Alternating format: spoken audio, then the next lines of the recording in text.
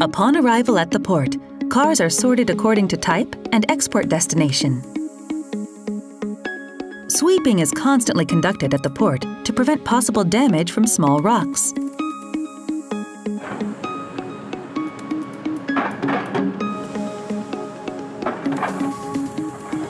Onboard workers called gangs share the role and load all the cars.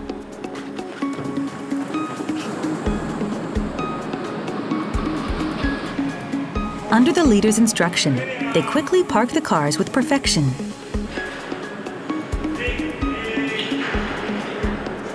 And then they secure the cars.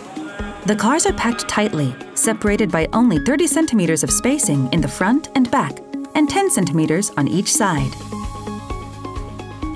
Several shipping gangs can load as many as 5,000 cars in two days. Once the last car is loaded, the ship leaves for its destination. れ様でした。